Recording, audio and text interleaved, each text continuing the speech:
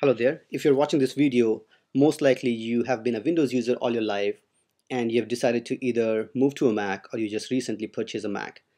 Um, we'll try in this video to make sure um, you have a very smooth transition from Windows to Mac. What I have is a brand new Mac which I have uh, installed a very few applications on and I have um, Windows application uh, running so that I can do a comparison between the Windows and the Mac here. Um, first thing you see on the Windows is your start um, bar where it gives you quick access to all the programs. It gives you access to the control panel, your recently opened items. You have a quick launch um, bar here and you have a task um, bar and then you on the right side you have list of processes running. Now on the Windows world, let's go to, to our Mac, sorry, uh, the Win Mac world. Let's go to our Mac world what we have is the same as the de desktop. You can customize your desktop the way you used to customize in Windows World. You can change the background. But um, this one here is called Dock. That's what we have as our taskbar and quick launch. This is kind of the quick launch bar where it gives you access to um, launching some applications uh, very easily. But the, the dock is consisting of two parts, which is divided by uh, this sign here. And on the right side uh, is it's meant for two purposes. One is it has some default things in here, which these four icons you can see. And it also uh, shows you all the applications that you have minimized. So for example, on Windows World, if you had multiple applications opened, um, you would see um, those in here. Um, that's what the right side of the dock also shows here. So right now I don't have anything uh, minimized in there. That's why you don't see it. But uh, this default is the list of application that you see, which is the start all programs in Windows. That's where all the applications go. You can choose not to install applications in, here, but that's what the um, that's what the recommendation is. This is the My Documents folder that you used to have on Windows. So this has list of all the documents that you have um, in in your folder, in your My Documents folder. Sorry. And this is something different that Mac has done. It's a special folder called Downloads folder.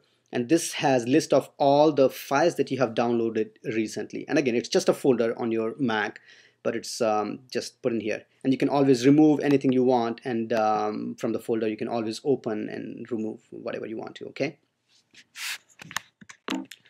so how to see a desktop? So in Windows World, um, we had this Windows key and you could use this for a lot of shortcuts like you, you could do Windows D that would show you the desktop, Windows E would explore, and then you also had a right click here. Uh, in terms of Mac, we have few keys missing and the most of uh, most important one that you need to get used to is um, this this page up, page down, and and home and end. We don't have these kind of keys here. Um, but we do have um, other combination of keys that allows you to do the same thing. It's kind of a little compact than um, than than Windows key, and uh, this is a new key called Command key, which is sometimes it works as as the Control key, and sometimes it works as the Windows key uh, from the Windows world. Now, in order to show the desktop in Windows world, we could just right click here and say show desktop here. There's nothing like that in the Mac world. And what we do in the Mac world, there are two uh, ways of um, looking at the desktop. First is you just take your four fingers on the trackpad and move it up. And there you go, the desktop. It's pretty uh, cool and easy. Just four fingers up and that uh, four fingers on the trackpad and move it up. That's your desktop. You can also press function F11 and that does the same thing. Now you can also customize your keys so that instead of pressing function F11, you can just press F11 um, but then your sound control would be reversed. So for sound control, you will have to use function and the sound control keys, which is F10, 11, and 12. Um, that's just your choice. On Windows, the list of applications that you have opened, um, you could access by pressing Alt-Tab. And if you do Alt-Tab, it so shows you list of all the applications that you have opened here.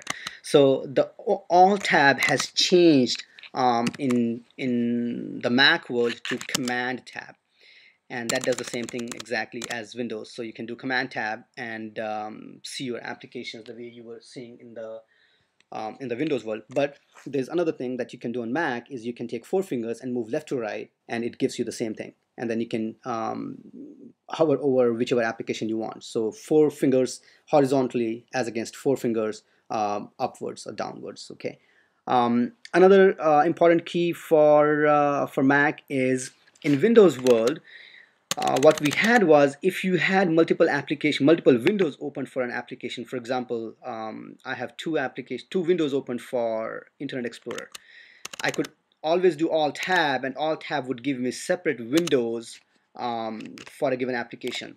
That's different in Mac. In Mac world, what you have is when you do Alt Tab, all you see is one instance of Safari, right? Whereas you can see that I have multiple windows uh, of is open. It's, I'm not talking about multiple tabs, I'm talking about multiple windows of Safari.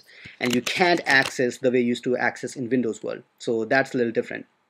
What you can do is, if you're on Safari and you want to see all the windows of Safari, you just press function F10 and it gives you different windows of Safari here. And then you can choose whatever you want to choose. And again, I mean, uh, we have few plugins that you can download and um, make it look similar to Windows um, and improve your efficiency also in terms of how you use command tab and alt tab and those kind of things. But what i suggest is that use mac um, as it is um, the bare bone uh, for a few uh, for a few days. And then once you know how it behaves um, then you can start improving your efficiency by downloading some additional plugins. Um, so we also had uh, the the all the windows on uh, all the applications on Windows World had this minimize um, key and the close key and the restore key. Now those are kind of the same here where every window that you have has three buttons where this is used for maximize, this is for minimize, and this is for closing the application.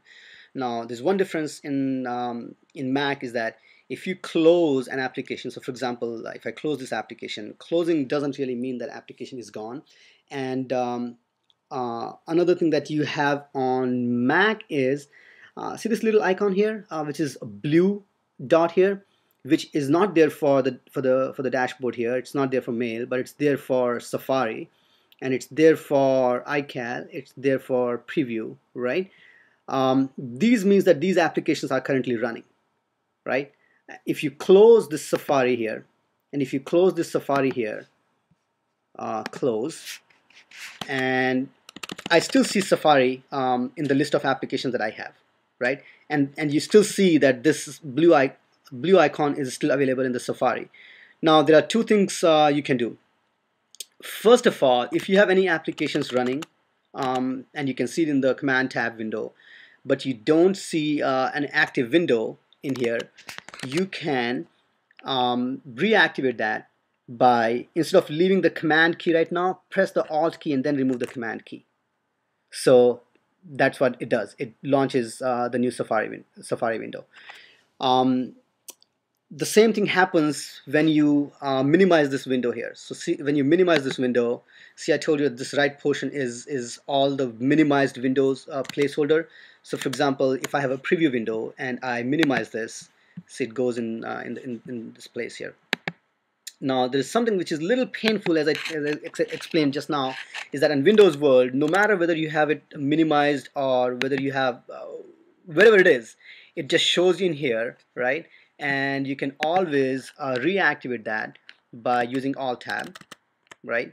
And um, if you use mouse that you're, you are good. If you use mouse uh, it's good in Mac. You can just uh, bring it back. But if you are using your command tab um, so let's see I have the preview and I do a command tab oops it didn't bring it. So if you have hidden an application if you if you have if your application is hidden if you cannot uh, bring it back just by leaving it here uh, with the command tab. So what you do is before using before leaving your command uh, key press your alt key and then leave your command key and it brings it back. I don't really like this and I'm not sure why uh, it's there and that's why I never actually uh, minimize the window. I just I just leave it there and it's there. Um, you can also hide a window basically. So if you if you I'm on preview window and I press um, I have command key press and I press H it kind of hides it. And uh, it's there it's just gone the last one here. It's it's uh, it's gone from everywhere. It's it's not there. And you can only see it from your um, command tab but you can't bring it back up because you have you have hidden the window. And again the key is the same thing. To bring it back up you don't release the command key, you press the alt key and then remove your command key and it brings uh, right back up.